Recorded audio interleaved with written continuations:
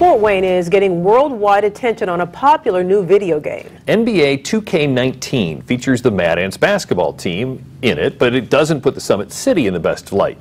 News Channel 15's Kaitor K has seen the game footage, and Kaitor, the Mad Ants feature is supposed to be a little funny, right? Yes, and to many people it is. There's actually a few different ways to look at this. Welcome to the Mad Ants, son. Thank you, sir. Fort Wayne is featured in the extremely popular video game NBA 2K19. In one of the game's modes, your character has to move up the NBA ranks by starting in the G League with the Mad Ants.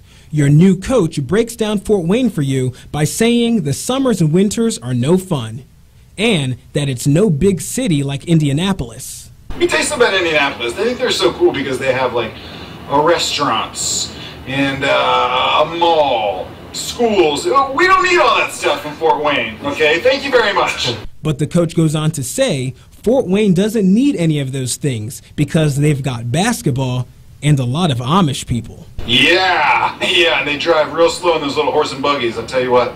But you know what they do? They make really great furniture. Did you know that? One Fort Wayne 2K19 fan, TJ Bohannon, posted the scene on Facebook for his friends to see. I thought it was kind of comedic.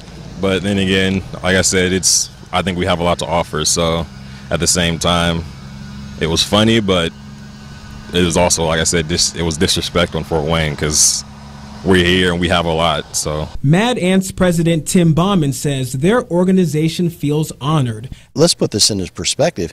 There are there are gamers across the world that are going that are going to be playing this game who've never heard of Fort Wayne before. So it's put us on the map from the mayor today, and he says he's not too amused by any of this, but as for Bauman, he says sometimes it's okay to just laugh at yourself. In the newsroom, Kaitor K, News Channel 15.